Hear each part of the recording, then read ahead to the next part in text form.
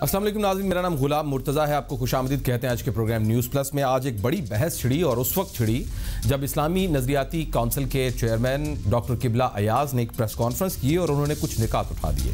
اسلامی نظریاتی کونسل کے چیئرمین نے نیب آرڈیننس کی بعض دفعات کو غیر اسلامی اور غیر غیر شرعی قرار دے دیا۔ انہوں نے باقاعدہ اس پہ بتایا کہ کون کون سی ہے یہ۔ وفاقی دارالحکومت اسلام آباد میں اسلامی نظریاتی کونسل کے اجلاس کے بعد پریس کانفرنس میں چیئرمین ڈاکٹر کبر ایاز نے بتایا کہ کونسل کا اجلاس دو روز سے جاری رہا۔ ان کا کہنا تھا کہ کونسل نے سوشل میڈیا پر توہین، آمیز مواد کے خلاف قومی اسمبلی کی قرارداد کی تائید کی۔ ساتھ ہی انہوں نے یہ مطالبہ بھی کیا کہ سوشل میڈیا پر توہین، آمیز مواد اپلوڈ کرنے پر پابندی لگائی جائے۔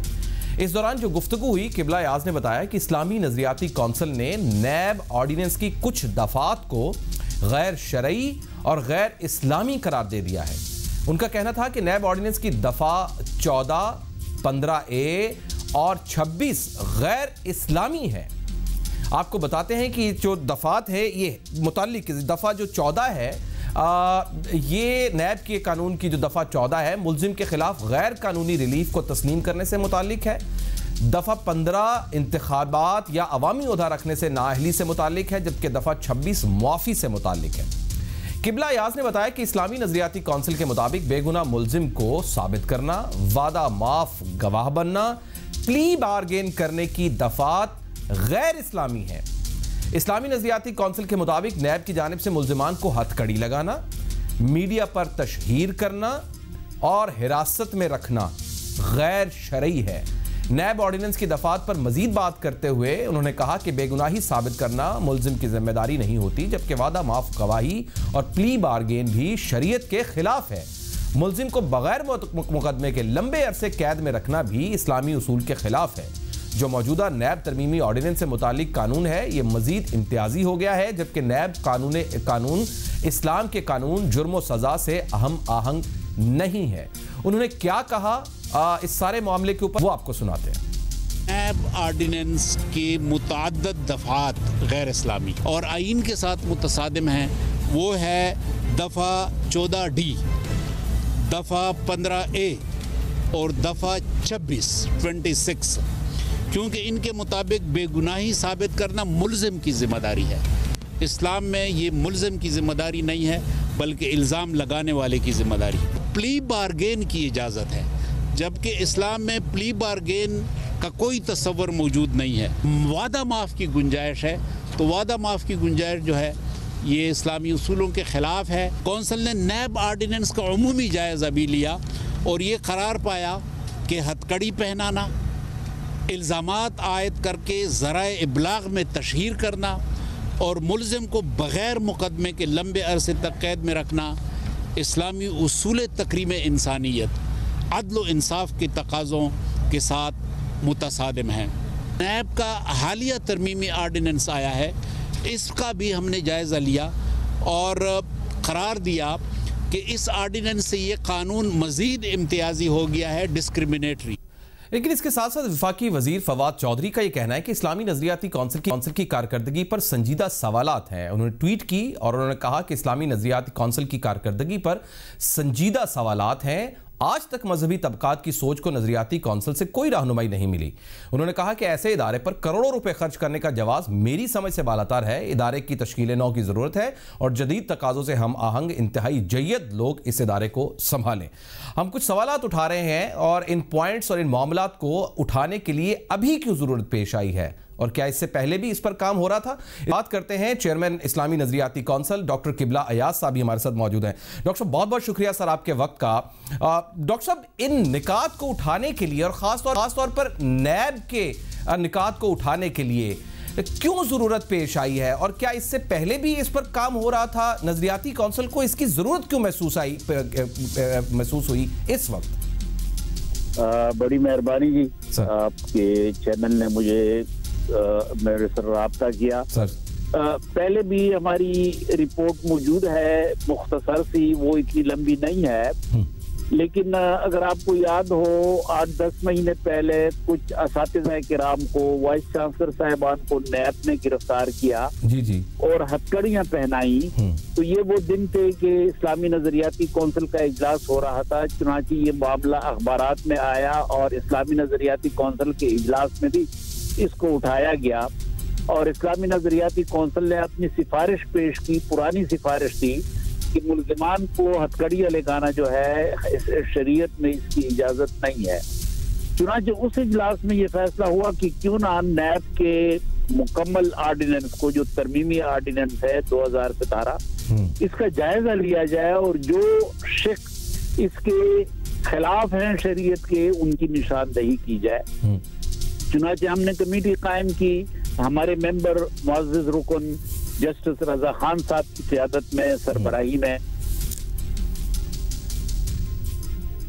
سر۔ پھر سات جنوری کو یہ ایپکس باڈی کے سامنے وہ رپورٹ پیش کی گئی۔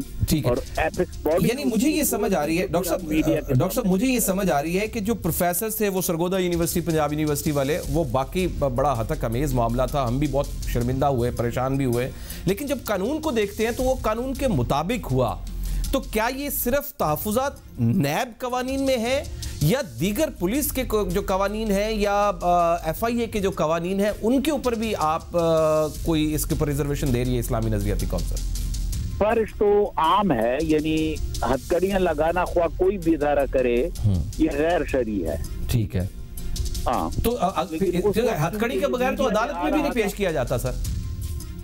دیکھیں آپ یہ سارے ملزم جو ہیں جی۔ یہ ان کی اکثریت تو بغیر ہتکڑیوں کے لائی جاتی ہے سوائے ان پروفیسر صاحبان کو۔ جی جی جی جی جی صحیح صحیح کہہ رہے ہیں صحیح کہہ رہے ہیں۔ اچھا اب جب گرفتاریاں ہوتی ہیں ڈاکٹر صاحب یا پریس ریلیز کی جاتی دی جاتی ہے نیب کی طرف سے ظاہر ہمارے پاس پریس ریلیز آتی ہے ہم اس کو رپورٹ کرتے ہیں۔ تو وہ تو قانون کے تحت ہے گرفتاریاں بھی قانون کے تحت ہیں۔ ان کو پہلے گرفتار کرنا ملزم کو گرفتار کرنا یہ بھی نیب کے قانون کا حصہ ہے۔ یعنی وہ قانون ہی دراصل اسلام کے طریق سے متصادم ہے یہ کہنا چاہ رہے ہیں۔ جی، یہی ہے نا دیکھیں گرفتاری جب ضرورت ہو لیکن بغیر ملزم کو بغیر ضرورت کے لمبے عرصے تک حراست میں رکھنا یہ انسانی تقریم کی خلاف ورزی ہے۔ اور اسلامی عزت اور اسلامی احترام یہ اسلام کی ایک بہت بڑی قدر ایک ویلیو ہے۔ تو پھر تشہیر کے میٹر کو کیسے سر ہم کلیئر کریں گے؟ ظاہر ہے اب کوئی ملزم ہے اب جب جاتا ہے یا جس کے اوپر کیس بنتا بھی کیس بنتا ہے یا ریفرنس ہی صرف بنتا ہے تو رپورٹ تو ہوتا ہے۔ اس کا مطلب ہے کہ ہماری جو رپورٹنگ ہے اس کیس سے متعلق کسی بھی کیس سے متعلق پھر وہ بھی غیر قانونی ہے۔ غیر غیر شرعی ہے۔ سر آپ کو یاد ہوگا چھ جنوری کو چھ جنوری کو ایک سبات کے دوران چیف جسٹس اتھر من اللہ اسلام آباد ہائی کورٹ کی جو چیف جسٹس ہیں جی۔ انہوں نے اسی نقطے کو اٹھایا تھا جی۔ کہ یہ تشہیر جو ہے جی۔ جس میں آپ ملزم کو مجرم بنا کے پیش کرتے ہیں یہ غیر قانونی ہے انسانی حقوق کی خلاف ورزی ہے۔ ہم نے اسی بات کو غیر شرعی قرار دیا۔ صحیح۔ تو اب اس کا مجھے ذرا کلیئر کر دیجیے گا۔ میں ناقص العقل ہوں مجھے ذرا سمجھا دیجیے کہ یعنی مطلب یہ ہے کہ کوئی بھی جوڈیشری میں میٹر اگر چل رہا ہے ظاہر ہے ابھی تو وہ ملزم ہے ابھی تو الزام ہے ابھی تو کیس چل رہا ہے۔ وہ کیس رپورٹ کرنا چاہے وہ کسی بھی ذریعے سے ہو ریٹن فارم میں ہو یا ویڈیو آڈیو صورت میں ہو کسی بھی طرح سے یا نیب کے اندر یا ایف آئی اے کے اندر کسی بھی طرح کا کوئی کیس بنے چاہے وہ کرمنل پروسیڈنگ میں ہو وہ سول پروسیڈنگ میں ہو وہ تشہیر کرنا پھر غیر شرعی ہے۔ دیکھیں ایک تو ہوتی ہے خبر۔ جی۔ خبر تو یقیناً میڈیم میں آ جاتی ہے ہاں۔ لیکن ایک اس انداز سے اس کی تشہیر کہ اس کی حیثیت ایسی بن جاتی ہے کہ وہ معاشرے میں بے وقار ہو جاتا ہے۔ اس کی اپنی اولاد اس پر فخر کرنا بند کر دیتی ہے۔ تو اب ایسی صورتحال جو ہے یہ یقیناً تقریم انسانیت کے خلاف۔ تو سر پھر اس کے بعد تو پھر سوال ہی سارا یہ اٹھ جاتا ہے کہ بھی جو قانون پارلیمنٹ بناتی ہے یا کسی قوانین میں امینڈمنٹ کی جاتی ہے وہ اسلامی نظریاتی کونسل سے گو تھرو کروا کر کی جائیں تاکہ اس طرح کا کوئی میٹر نہ ہو۔ تو کیا اس طرح کا کوئی پریسیڈنٹ ہے؟ ابھی کچھ دن پہلے کچھ امینڈمنٹس ہوئی ہیں سروسز ایکٹ کے لا کے اندر۔ جتنے بھی لاز ہیں اس کو اپنا اسلامی نظریاتی کونسل سے گو تھرو کر کے آگے جایا جائے؟ کیونکہ ہمارا آئین اسلامی آئین ہے اسلامی نظریات کے مطابق بنا ہوا ہے۔ ایسا ہی ہوتا ہے جب کوئی بل پیش ہوتا ہے جی۔ تو اگر اس میں کوئی اسلامی حوالہ ہو تو وہ لازمن جب قائمہ کمیٹی کے سپرد ہوتا ہے تو قائمہ کمیٹی ہمیں بلاتی ہے۔ سن تریہتر سے لے کر اب تک یہی طریقہ رہا ہے۔ بعض قوانین میں جو آرڈیننس کی شکل میں آتے ہیں اس میں پھر ہمیں اعتماد میں نہیں لیا جاتا۔ نہیں لیا۔ تو اب ظاہر ہے جب نیب قوانین بنے تھے تو تب بھی آپ کو پھر اعتماد میں نہیں لیا گیا۔ اس کا مطلب تو پھر یہی ہوا۔ یہ پرانے سب سے پہلے تو یہ قوانین جنرل مشرف کے زمانے میں جی ہاں۔ ٹھیک ہے۔ اس کے بعد دو ہزار ستارہ میں پھر ترامیم ہوئی۔ صحیح۔ ہاں تو ان ترامیم کو اسی طریقے سے اٹھایا گیا۔ ہم نے اس کا جائزہ لیا کہ ان میں ہم ان دفعات کی نشاندہی کریں، جو شریعت کے ساتھ متصادم۔ تو اس کا مطلب یہ ہوا کہ جو روٹس بنائی گئی، وہ تو پھر چونکہ آپ خود بھی پروفیسر رہ چکے ہیں، ڈین رہ چکے ہیں، خود پڑھاتے بھی ہیں، ابھی آپ پروفیسر بھی ہیں، ہمارے استادوں میں سے ہیں۔ تو اصل گراؤنڈ جو بنی، وہ سیاستدان یا دیگر افراد نہیں بنے، وہ گراؤنڈ اصل میں وہ پروفیسر جو گرفتار ہوئے تھے، وہ بنی، جس نے آپ کو سوچنے پر مجبور کیا کہ اسلامی نظریاتی کونسل میں یہ معاملہ اٹھایا جائے۔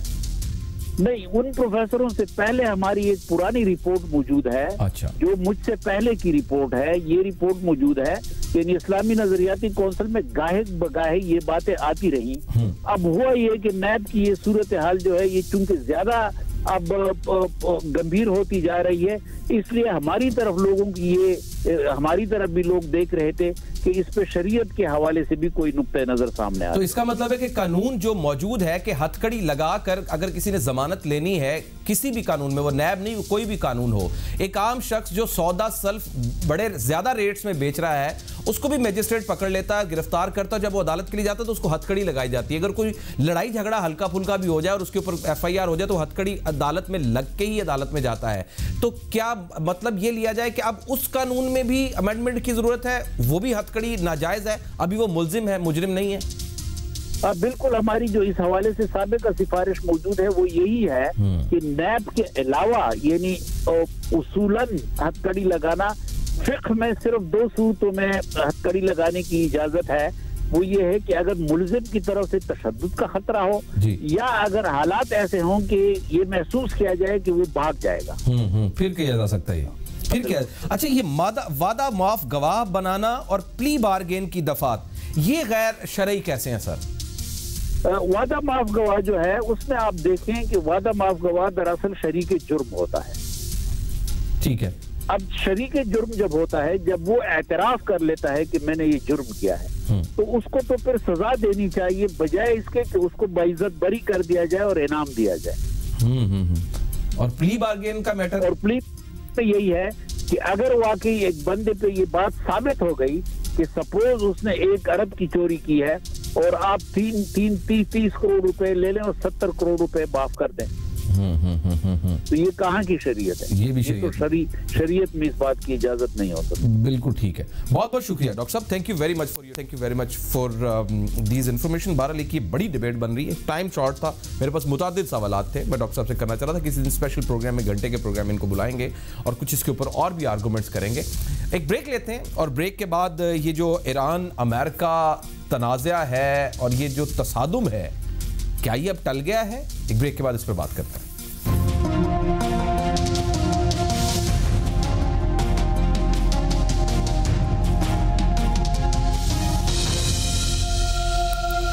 بریک کے بعد آپ کو خوش آمدید کہتے ہیں۔ امریکہ نے جنرل قاسم سلیمانی کے قتل کے نتیجے میں ایران سے ہونے والی کشیدگی کے خاتمے اور عالمی سطح پر امن کے قیام کے لیے ایران کو مذاکرات کی غیر مشروط پیشکش کر دی ہے۔ امریکہ نے سلامتی کانسل کو لکھے گئے خط میں یہ کہا ہے کہ ایران سے بغیر کسی شرائط کے مذاکرات کے لیے تیار ہیں۔ امریکہ کی جانب سے اقوام متحدہ کی سلامتی کانسل کو لکھے گئے خط میں یہ کہا گیا ہے کہ امریکہ بغیر کسی شرائط کے ایران کے ساتھ ان مذاکرات کے لیے تیار ہے اور مذاکرات کا مقصد عالمی امن کو مزید خراب ہونے سے روکنا اور ایران کی حکومت کی جانب سے کشیدگی کو ختم کرنا ہے۔ امریکی خط میں یہ کہا گیا ہے کہ اقوام متحدہ کے آرٹیکل 51 کے تحت جنرل سلیمان کو قتل کرنا دفاعی اقدام تھا۔ اس کے علاوہ خطے میں امریکیوں اور مفادات کے تحفظ کے لیے امریکہ مزید اقدامات کرنے کے لیے بھی تیار ہے۔ اس ساری صورتحال کے پیش نظر جو کل کا دن تھا، اس میں جب گفتگو کی ڈونلڈ ٹرمپ نے جو قوم سے خطاب کیا، اس وقت تک تو یہ پوزیشن نظر آ رہی تھی کہ یہ معاملہ کافی طول پکڑ سکتا ہے اور آنے والے دنوں میں بہت زیادہ سخت معاملات ہو سکتے ہیں۔ لیکن آج جو بیان آیا ہے اس میں واضح طور پر نظر آ رہا ہے کہ امریکہ ایک ڈیفینسو پوزیشن میں ہے۔ کیوں ڈیفینسو پوزیشن میں ہے؟ ایک سوال سب سے بڑا نکل رہا ہے، سامنے آ رہا ہے۔ اور دوسرا یہ کہ امریکہ نے اگر مذاکرات کی پیشکش کی ہے تو ایران اس کے لیے حامی بھر سکتا ہے یا نہیں بھر سکتا ہے؟ یا وہ باقاعدہ طور پر اس کے لیے کسی سالسی درمیان میں کسی کو رکھنے کی ضرورت ہوگی؟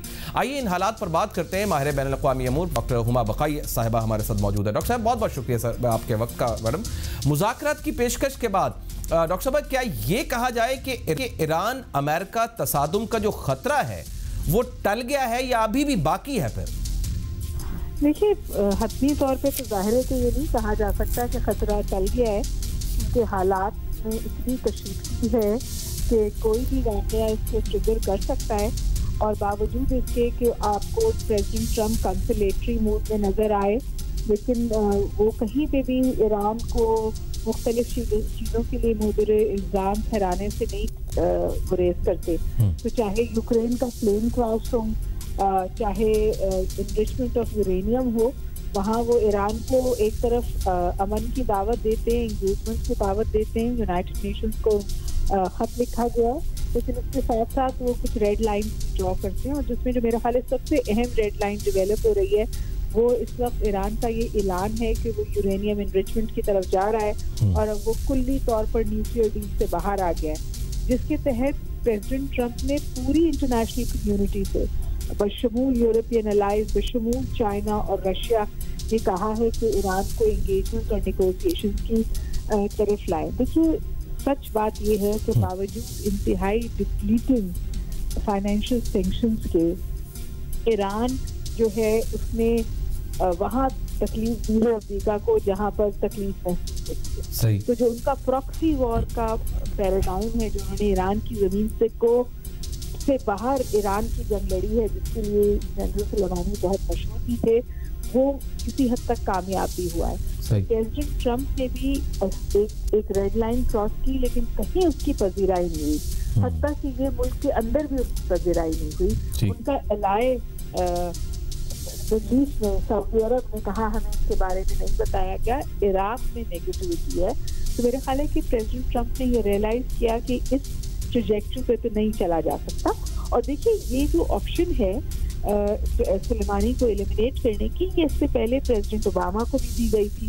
اس سے پہلے پریزیڈنٹ بش کو بھی دی گئی تھی۔ یہ ایکسٹریم آپشن تھی اور دونوں پریزیڈنٹ نے اس کو ایکسرسائز نہیں کیا تھا۔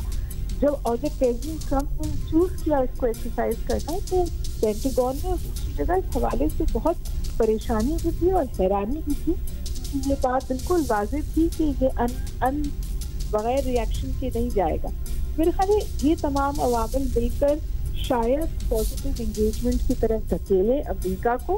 اور دیکھیے اصل بات یہ ہوتی ہے کہ پولیٹیکل ول ہو۔ ہم نے ایک دفعہ پہلے بھی بہت مشکل نیوکلیئر ڈیل میں ایران حصہ بنا، بہت نے کنسیشن بھی دیے یونائٹیڈ اسٹیٹس کی بہت ساری چیزیں بھی اکوموڈیٹ کی لیکن پھر یو ایس اس سے باہر نکلا۔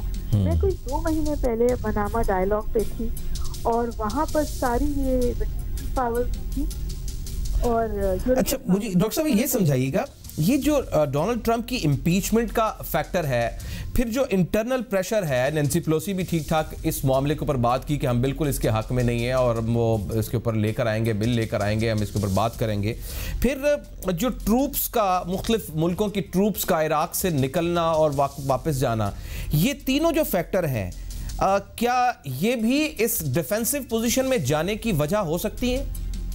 دیکھیے یہ بات صحیح ہے کہ ان کو امپیچمنٹ کا سامنا ہے لیکن یہ بات بھی صحیح ہے کہ بش کے بعد جو وار پریزیڈنٹ کا کارڈ ہے وہ دیگر پریزیڈنٹ نہیں کھیل پائے ٹرمپ نے بھی ڈس انگیجمنٹ کی بات کی ریٹریٹ کی بات اوباما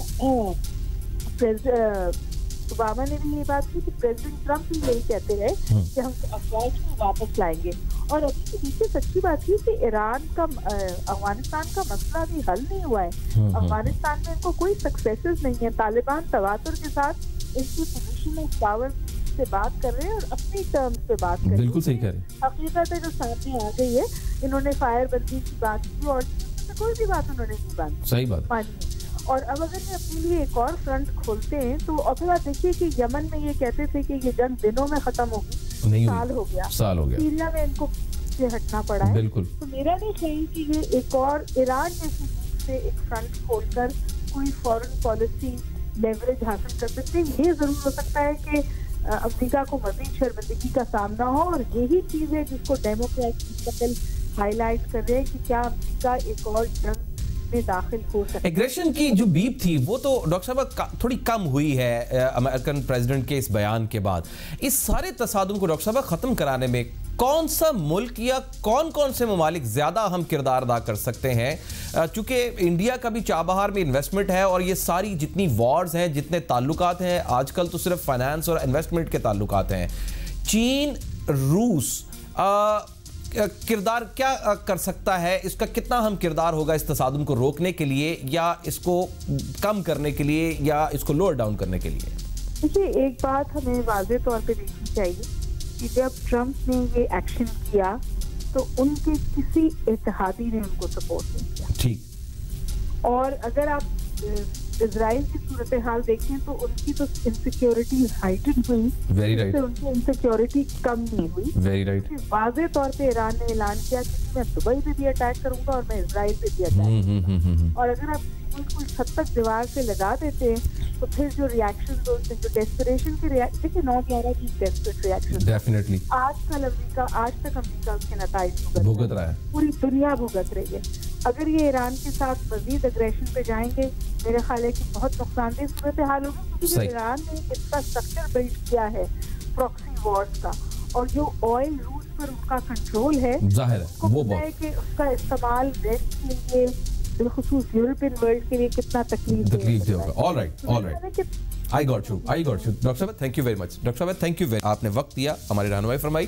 ایک بریک لیتے ہیں ناظر اور بریک کے بعد ذرا پاکستان کی اکانومی کی طرف آتے ہیں۔ بڑے امپورٹنٹ فیکٹس ہیں اور فیٹف کی بھی بات کریں گے۔ ایک بریک لیتے ہیں اور اس کے بعد ذرا پاکستان کی اکانومی میں بڑی ترقیاں اور کے دعوے ہو رہے ہیں۔ واقعی ہو رہے ہیں۔ ایک بریک کے بعد بات کریں گے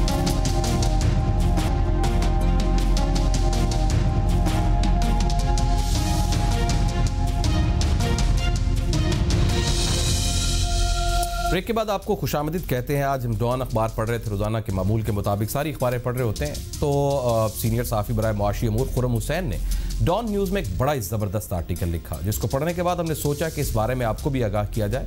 بڑے زبردست پوائنٹس انہوں نے ریز کیے۔ حکومت کی طرف سے دیے گئے اعداد و شمار کو پڑھیں۔ تو بہت خوش خوشی ہوتی ہے کہ پاکستان کی جو اکانومی ہے، اس کو بہت حد تک سہارا ملا ہے۔ جو اکنامک انڈیکیٹرز ہیں پھن پھیلائے ہمارے سامنے کھڑے تھے۔ ان کو بہت حد تک رام کر لیا گیا ہے۔ بہت سے بڑے ٹارگٹس اچیو کیے گئے ہیں۔ بتایا جاتا ہے کہ حکومت کی جانب سے جو ذخائر ہیں کہ وہ بڑھ رہے ہیں فزیکل ڈیفیسٹس اس کے علاوہ ایکسٹرنل ڈیفیسٹس یہ شرنک ہو رہے ہیں۔ مگر جب ان کو قریب سے کھنگالیں، تو یہ سمجھ آتی کہ ذخائر بڑھانے خسارے کم کرنے کے لیے جو اٹھائے گئے اقدامات ہیں اور اقدامات اٹھانے کی جو ڈائریکشنز ہیں، طریقہ کار ہیں مینرز ہیں، وہ بہت جلد بازی میں ہوئے ہیں اور اس کی جو ایفیکٹس ہیں، وہ بہت شارٹ ٹرم ہے اور یہ سمجھ آ رہی ہے کہ اکانومی کو سٹیبل کرنے کا بوجھ صرف عوام اور غریب طبقے پر ڈالا گیا ہے۔ انڈسٹریلسٹ امیر طبقہ یا زیادہ انکم حاصل کرنے والا یا جس کی انکم دن بدن بڑھ رہی ہے اس کا بوجھ غریب عوام سے کہیں کم ہے۔ حالانکہ یہ تو برابر ہونا چاہیے تھا، بلکہ ریورس ہونا چاہیے تھا۔ تو میں بغیر ہیلو حجت زیادہ اس کی ڈیٹیل میں نہیں جاتا۔ بات کر لیتے ہیں، ڈاکٹر فاروق سلیم صاحب اسلام آباد سے ہمارے ساتھ جڑ رہے ہیں۔ ان سے جانتے ہیں، کیونکہ انہوں نے بھی آرٹیکل پڑھا پڑھا ہے۔ ان کو سمجھتے ہیں کہ سر یہ کیا تھا۔ ڈاکٹر صاحب، بہت بہت شکریہ سر آپ کے وقت کا۔ یہ خرم حسین صاحب نے ڈان پہ بڑا زبردست آرٹیکل لکھا، آپ نے پڑھا ہے۔ ہمیں سب سے پہلے تو یہ سمجھا دیجیے گا کہ وہ اس آرٹیکل میں پوائنٹس کیا ریز کر رہے ہیں۔ اور یہ جو پوائنٹ بطور باہر معاشی اور اقتصادی امور، آپ کیا سمجھتے ہیں کتنے جاندار ہے اس آرٹیکل میں اصل میں پکچر کیا بن رہی ہے؟ ڈاکٹر صاحب۔ مظہر صاحب آپ نے آرٹیکل بہت اچھا چنا ہے۔ خورم حسین صاحب بہت عمدہ لکھ رہے ہیں اور بڑا اچھا اینالائز کرتے ہیں کہ پرابلمز کیا ہیں۔ ڈیفینیشن کے اوپر کم زور دیتے ہیں لیکن پرابلمز جو ہیں وہ بڑے واضح طور پہ سامنے لے کے آتے ہیں۔ ابھی جو آرٹیکل لکھا وہ یہ کہہ رہے ہیں کہ حکومت دو محاذوں میں بڑی کامیابی کہہ رہی ہے کہ ہم نے کامیابی کر لی ہے۔ جی ہاں۔ وہ ایک کہہ رہی ہے کہ تجارتی خسارہ جو ہے اس کو کرنٹ اکاؤنٹ ڈیفیسٹ کہہ رہے ہیں۔ وہ کہہ رہی ہے کہ ہم نے تجارتی خسارہ جو ہے انٹرنیشنل محاذ کے اوپر وہ کم کر لیا ہے۔ اور یہ ہماری بہت بڑی کامیابی ہے۔ اور دوسری کامیابی وہ یہ کہہ رہے ہیں کہ ہم نے بجٹری خسارہ جو ہے فزیکل ڈسپلن جس کو وہ انگریزی میں کہتے ہیں وہ کہتے ہیں ہم نے وہ بھی ہم نے اچیو کر لیا ہے۔ تو یہ ہماری دو بہت بڑی کامیابیاں ہیں جو حکومت کلیم کر رہی ہے۔ اب خورم حسین صاحب نے ایک ایک کر کے دونوں کامیابیوں کی ڈیٹیل اپنے آرٹیکل میں لکھی ہے اور ان کا کنکلوژن کچھ یہ ہے کہ یہ کامیابیاں آپ نے ضرور اچیو کر لی ہیں بنیاد جو باٹم لائن فگر آ رہی ہے۔ لیکن جو طریقہ کار ہے جس طرح آپ وہاں پہ پہنچے ہیں وہ کچھ اچھا نہیں ہے۔ وہ ملک کے لیے اچھا نہیں ہے۔ اس کو اگر آپ ڈیٹیل میں دیکھ لیں ہم ایک ایک کر کے اگر آپ چاہیں تو جو جیسے وہ سمجھا رہے ہیں کہ بجٹری خسارہ آپ نے جو کم کیا ہے۔ اس میں آپ نے خرم صاحب کہہ رہے ہیں کہ سیلز ٹیکس بڑھا دیا۔ یعنی کہ آپ نے پیٹرولیم پروڈکٹ جو آپ کے پاس آ رہے ہیں ان کے اوپر سیلز ٹیکس بڑھا دیا ہے۔ جی۔ وہ پہلے پیٹرولیم کے اوپر ڈیزل کے اوپر کیروسین آئل کے اوپر ڈفرنٹ سلیبس تھیں۔ اب انہوں نے سترہ فیصد جو ہے فلیٹ کر دیا۔ تو اس کی وجہ سے ان کے پاس سیلز ٹیکس زیادہ اکٹھا ہونے لگا۔ اب خرم صاحب یہ بالکل درست کہہ رہے ہیں کہ جب آپ سیلز ٹیکس کی مد میں اپنے ریونیوز بڑھاتے ہیں تو اس کو وہ کہتے ہیں ریگریسو ٹیکس کے بوجھ سارا پڑ رہا ہے۔ جتنا غریب کوئی طبقات ہیں جتنے کم آمدن طبقات ہیں پاکستان میں رہنے والے سارا بوجھ جو ہے وہ ان کے اوپر جا کے پڑ جاتا ہے۔ کیوں؟ اس کی وجہ اس کی وجہ یہ ہوتی ہے کہ جو کم آمدن والی فیملیز ہیں وہ اپنا اسی سے نوے فیصد جو آمدن ہے اس کی وہ خرچ کر دیتی ہیں۔ ساٹھ سے ستر فیصد تو ان کا صرف خوراک کے اوپر چلا جاتا ہے۔ اب وہ جو سب کچھ خرچ کر دیتی ہیں ان سب کے اوپر آپ نے سیلز ٹیکس لگایا ہوا ہے۔ جو امیر طبقات ہیں وہ اپنی آمدن کا دس بیس پندرہ فیصد خرچ کرتے ہیں تو ان کے اوپر اسی حساب سے کم ٹیکس لگتا ہے۔ تو یہ ریگریسو ٹیکس کا مطلب یہ ہوتا ہے کہ جس طرح آپ کی آمدن کم ہوتی جاتی ہے آپ کے اوپر ٹیکس بڑھتا چلا جاتا ہے۔ اور جس طرح آپ کی آمدن بڑھ رہی ہے آپ کے اوپر ٹیکس کم ہوتا ہوتا جا رہا ہے۔ یہ لاجیکلی ہونا نہیں چاہیے۔ ہونا یہ چاہیے اس کا ایگزیکٹ اپوزٹ ہونا چاہیے کہ جیسے آپ کی آمدن بڑھ رہی ہے ٹیکس بڑھتا جائے بوجھ بھی بڑھنا چاہیے۔ تو وہ خرم صاحب یہی سمجھا رہے ہیں کہ آپ نے سیلز ٹیکس کی مد میں، بجلی کے ٹیکس کی مد میں یہ سارا کچھ اپنا ریونیو جو بڑھا لیا ہے اور پھر یہ کلیم کیا جا رہا ہے کہ ہمارا بجٹری خسارہ یا ہمارا فزیکل ڈسپلن وہ ہم نے کنٹرول میں کر لیا ہے۔ تو شاید یہ آپ نے کنٹرول میں کر لیا، لیکن اس کا طریقہ کار اور اس کا سارا کا سارا بوجھ جو ہے، وہ پاکستان کی کم آمدن فیملی جو ہیں ان کے اوپر پڑ گیا۔ تو خرم صاحب کا شاید کہنا یہ ہے کہ یہ آپ نے غلط کام کیا شاید آپ نے نتیجہ درست نکال لیا لیکن جو طریقہ کار آپ نے اپنایا ہے وہ غلط ہے۔ رائٹ دوسرا حکومت جو کہہ رہی ہے کہ ہم نے کرنٹ اکاؤنٹ ڈیفیسٹ کم کر دیا اور یہ بہت بڑی ہماری اچیومنٹ ہے وہ آرٹیکل میں یہ کہہ رہے ہیں کہ آپ نے کم تو کر دیا۔ ہاں۔ ظاہر بات ظاہری بات ہے کرنٹ اکاؤنٹ ڈیفیسٹ جو ہے وہ پی ایم ایل این جو ہے وہ تقریباً بیس بلین کا چھوڑ کے گئی تھی۔ اب کوئی تیرہ چودہ بلین پہ ہے۔ تو کم تو کر دیا لیکن یہ خورم صاحب کہہ رہے ہیں کہ کیا طریقہ کیا اپنایا؟ اس کا ایک تو انڈسٹریل پروڈکٹس جو ہم امپورٹ کرتے تھے۔ انڈسٹری کی صنعتی پروڈکٹ اس کی امپورٹ نیچے چلی گئی ہے اور کیونکہ ہماری معیشت سلو ڈاؤن کر گئی ہے تو ہماری ضروریات جو ہیں آئل کے حوالے سے وہ کم ہو گئی ہیں۔ پھر عالمی منڈیوں میں آئل کی قیمت بھی کچھ کم رہی۔ بڑے زبردست کہنا یہ ہے کہ آپ نے یہ اچیو کر لیا ہے۔ لیکن اس کا طریقہ کار غلط ہے آپ نے انڈسٹری دیا ہے آپ نے اپنی معیشت کو شرنک کر دیا ہے سکڑ گئی ہے معیشت اور اس کے نتیجے میں یہ دو اچھے نتائج آپ کے نکل آئے تو طریقہ بیسیکلی وہ کہہ رہے ہیں کہ طریقہ کار چاہے وہ آپ کے بجٹری شارٹ ٹرم حوالے سے ہو یا تجارتی خسارے کے حوالے سے ہو وہ درست نہیں نہیں ہے۔ ڈاکٹر صاحب اس کا بوجھ جو ہے وہ کم آمدن کے اوپر کم آمدن طبقات جو ہیں ان کے اوپر پڑ گیا۔ رائٹ ڈاکٹر صاحب ذرا نیپرا ایکٹ اس کی امینڈمنٹ کے بارے میں خبریں آ رہی ہیں۔ کیا خبر ہے اس کی؟ واقعی کو نیپرا ایکٹ میں کوئی امینڈمنٹ کرنے جا رہے ہیں۔ اور کیا بجلی اور گیس کے خسارے اور جو نقصانات ہیں وہ آپ کے اور میرے اوپر ایک بڑے بوجھ کی صورت میں آنے والے ہیں؟ یہ ہے مطلب یہ امینڈمنٹ ہونے والی ہے۔ جی مزدہ صاحب ایک بجلی کا بم پھٹنے والا ہے اور جو اس وقت ہمارے گردشی کردہ جات ہیں وہ تقریباً ایک ہزار اور سات سو ارب روپے کے ہیں۔ مجھے یاد ہے کہ پاور ڈویژن والوں نے ہمیں اگست دو ہزار اٹھارہ میں ایک بریفنگ دی تھی اور اس وقت بتایا تھا کہ گردشی قرضہ جات ایک ہزار ایک سو ارب ہیں۔ تو پی ٹی آئی کے حکومت کے دوران یہ تقریباً چھ سو ارب روپیہ اضافی بڑا ہے گردشی قرضہ جات۔ اور یہ گردشی قرضہ جات ان ایسنس جو ہے یہ دو یا تین قسم کی چوری ہے۔ اس کے اندر کچھ تو حکومت کی بیڈ گورننس ہے جس کی وجہ سے نقصانات ہوتے ہیں۔ کچھ صارفین جو ہیں وہ چوری کر لیتے ہیں بجلی اس کی وجہ سے نقصان ہو جاتا ہے۔ اور کچھ مہنگی بجلی کے کانٹریکٹ جو ہم نے نجی بجلی گھروں سے کر رکھے ہیں ان کی وجہ سے یہ جو ایک ہزار سات سو ارب کا نقصان ہے یہ سامنے آ جاتا ہے۔ اب حکومت کیا کرنے چلی ہے؟ کہ یہ نقصانات جو ہیں چاہے وہ بیڈ گورننس کے نتیجے میں ہوں وہ صارفین کی چوری کے نتیجے میں ہوں وہ کپیسٹی چارجز کے نتیجے میں ہوں وہ مہنگی بجلی کے نتیجے میں ہوں وہ سب کے سب جو ہیں وہ چارجز صارفین کے اوپر ڈالنے چلے ہیں۔ یعنی کہ ایک ہزار سات سو ارب جو بجلی کے صارفین ہیں تقریباً دو سے ڈھائی کروڑ پاکستان کے اندر جی، جی۔ یہ ان کے بلوں میں آ جائے گا۔ یعنی کہ آپ oh کو اپنے بل میں جو اضافی نقصانات ہیں جو جو میری وجہ سے نہیں ہو رہے ہاں۔ تو یہ آپ سمجھیے کہ جو تو پاکستان میں بجلی چوری کر رہا ہے اس کے لیے تو فائدہ ہو گیا۔ اس کے لیے بہت اچھی خبر ہے فائدہ ہو گیا اور جو بجلی کا بل ایمانداری سے دے رہا ہے اس کے لیے بہت ساری بری خبریں سامنے آ رہی ہیں۔ بہت شکریہ۔ تو آپ چوری کر رہے ہیں تو آپ بڑے خوش رہیں گے۔ رائٹ بہت شکریہ۔ Thank you very much sir thank you very much بڑی افسوسناک یہ خبر آ رہی ہے۔ یعنی بجلی اور گیس کی پرائسز اور بڑھنے والی ہیں۔ نہ جانے کہاں جا کے معاملہ رکنا ہے۔ بہرحال ڈاکٹر صاحب آپ نے ہمیں سمجھایا۔ بہت شکریہ۔ ایک بریک لیتے ہیں بلکہ بریک نہیں لیتے۔ چلتے ہیں آگے۔ ذرا اسی کو کنٹینیو کرتے ہیں۔ ایف اے ٹی ایف کی بات کرتے ہیں۔ پاکستان نے ایف اے ٹی ایف کے جو بائیس نکات سے متعلق پیش رفت رپورٹ تھی وہ تیار کر لی ہے۔ جسے گزشتہ رات ایف اے ٹی ایف کو بھجوا بھی دیا گیا ہے اور اب F A T F Pakistan کی کارکردگی رپورٹ کا جائزہ بیجنگ اجلاس میں لے گا، جس کے بعد پاکستان کی قسمت کا فیصلہ پیرس میں جو اجلاس ہوگا فائنل، اس میں کیا جائے گا۔ جو تفصیلات موصول ہو رہی ہیں، اس کے مطابق پاکستان نے گرے لسٹ سے نکلنے کے لیے ایف اے ٹی ایف کے بائیس نکات سے متعلق پیش رفت رپورٹ تیار کی۔ تقریباً ایک سو بیس صفحات پر مشتمل ہے، کچھ پانچ سو کے قریب پیجز کی تفصیلات بھی منسلک ہیں۔ اور یہ بھی خبر موصول ہو رہی ہے کہ تفصیلی جواب اور پیش رفت رپورٹ تیار ہے۔ گزشتہ رات F F A T F کو بھجوا دی گئی ہے۔ F A T F Pakistan کی کارکردگی رپورٹ کا جائزہ جو بیجنگ میں ہونے والا شیڈیول اجلاس ہے، اس میں لے گا۔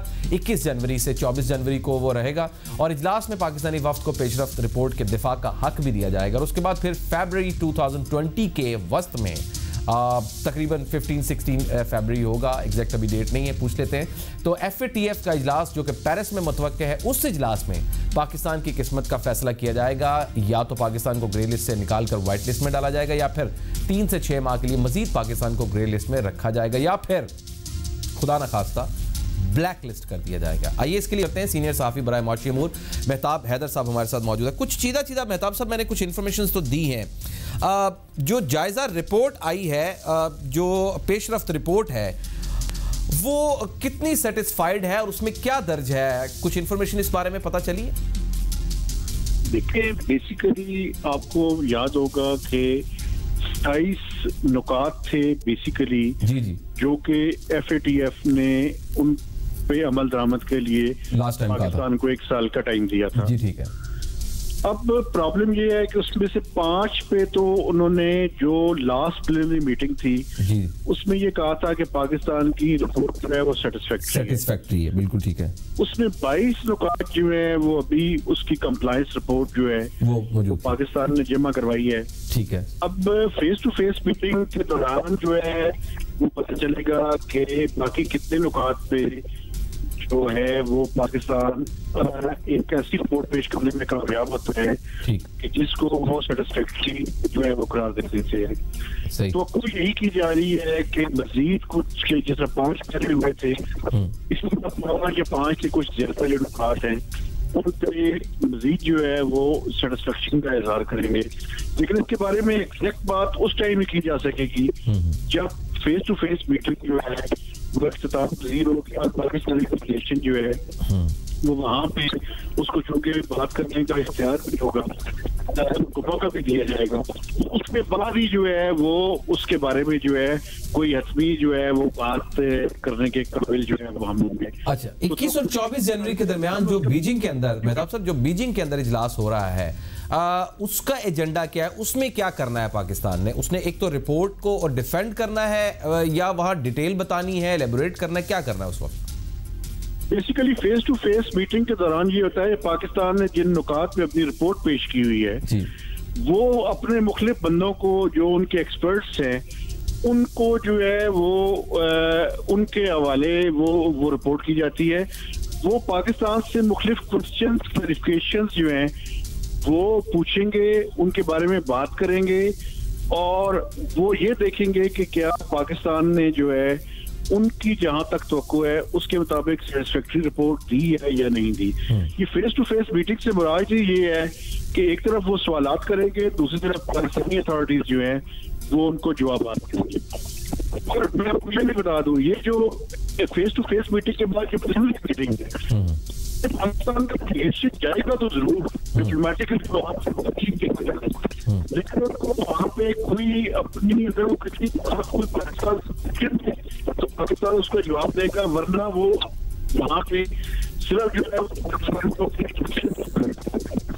آپ کی ذرا آواز میں نوائس آ رہی ہے سر میں دوبارہ سے آپ کو ریڈائل کرتا ہے پروڈیوسر ذرا دوبارہ سے ملائیے فون ان کو بڑا زبردست پوائنٹ ہو رہی تھی یعنی کہ دو سیشنز ہیں ایک بیجنگ والا سیشن ہے اکیس سے چوبیس اور اس کے بعد فیبری کا جو مڈ ہے اس میں یہ فیصلہ ہونا ہے کہ پاکستان کو گرے لسٹ سے نکال کر وائٹ لسٹ میں ڈالا جائے یا پھر تین سے چھ ماہ کے لیے پاکستان کو گرے لسٹ میں رکھا جائے۔ اپنی بات کو جاری رکھیے گا سر۔ ابھی دوبارہ آپ سے رابطہ بحال ہوا ہے۔ پلیز بات کو جاری رکھیے گا مہتاب صاحب۔ میں آپ کو یہ بتا رہا تھا کہ جو پلینری میٹنگ ہے جی جی۔ اس میں پاکستانی جو اتھارٹیز ہے جو پیرس میں ہونی ہے مئی کے فروری کے وسط میں جی۔ اس میں پاکستانی اتھارٹیز جو ہیں وہ زیادہ ان سے سوالات نہیں ہوں گے۔ اگر وہ کوئی سوال کریں گے تو پاکستانی وہ کام جو ہے وہ جواب دیں گے۔ وہاں پہ پاکستان اپنی ڈپلومیٹک ایفرٹس جو ہے وہ وہاں پہ ہوں گی۔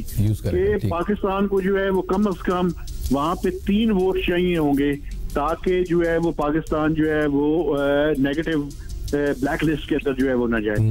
تو یہ جو اگلی میٹنگ ہے فیس ٹو فیس میٹنگ یہ خاصی امپورٹنٹ ہے کہ جس میں پاکستان نے جو اپنی رپورٹ دی ہوئی ہے اور اس کے اوپر جو ان کے سوالات تھے، ان کے جو جوابات دی ہوئے ہیں، اس کو پاکستان پوری تیاری کے ساتھ جو ہے وہاں پہ ڈیفینڈ کرے۔ تاکہ زیادہ سے زیادہ نکات میں جو ہے پاکستان کی رپورٹ کو وہ سیٹسفیکٹری قرار دے سکتے بہت بہت شکریہ مہتاب صاحب. Thank you very much sir thank you very much time تو جناب یہ بڑے اہم دن آگے آنے والے ہیں اور فیبرری کا جو مڈ ہوگا اس کے اندر ہم بہت امید کرتے ہیں بہت یقین کرتے ہیں کہ پاکستان نے جتنی محنت کی ہے اس کا اس کو پھل ملے گا۔ کیونکہ بہت زیادہ ایسے امور تھے جس کو ٹیکل کرنا پاکستان کی اس وقت پوزیشن میں نہیں تھا لیکن ہمت مار کے کیا ہے۔ تو دیکھتے ہیں آگے کیا بنتا ہے۔ اس کے ساتھ ہی ہمارا آج کا پروگرام اپنے اختتام کو پہنچتا ہے۔ کیسا لگا؟ فیڈ بیک ضرور دیجیے گا۔ اپنا گرد و بہت سا خیال رکھیے۔ اللہ کے بعد